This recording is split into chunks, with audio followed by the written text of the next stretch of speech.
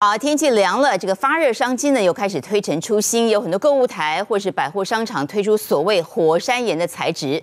过去有各式各样的发热材质，而这个所谓的火山岩是真是假，又有哪些不同呢？来看我们的报道。好冷哦！民众躲进被窝里盖的棉被到底好在哪里？外形看不出虚实，但最近很多民众看了购物台，想体验科技火山岩暖被。它的价格会定在多少啊？业者透过购物台谈价格亲民，还将实验抛上了网，比较传统羊毛跟火山岩材质的科技被，都用卤素灯照一分钟，再用红外线温度计测量，相差了六度。标榜的就是火山岩有蓄热因子，能吸收热能，真有那么好吗？待会实际进到棉被里头，十分钟后来看看这温度会有什么样的变化。实际呢，拿起体温计来看。哇哦，已经三十六点二度了。这是科技被，然后它有二点七公斤。